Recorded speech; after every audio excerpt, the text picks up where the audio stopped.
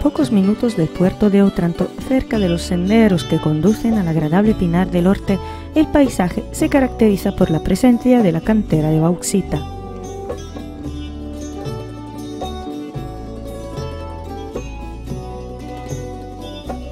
El marco es el fondo azul vivo del canal de Otranto, mientras que la antigua torre del Serpe se asoma desde la costa.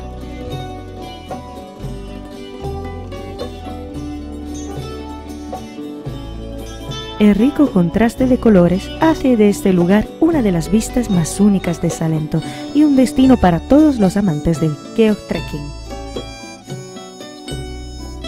La cantera fue explotada por los años 40 para la extracción de bauxita, para luego ser desmantelada en 1976.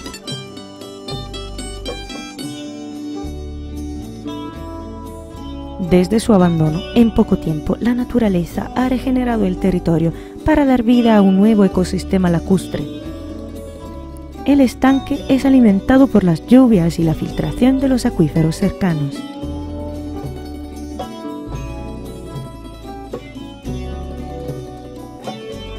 En los últimos años, la cantera ha atraído el interés de miles de visitantes curiosos que se empujan en las laderas rojizas de la cuenca para disfrutar del paisaje, especialmente al atardecer, cuando el cielo y la tierra se mezclan en escénicas variaciones de rojo y turquesa.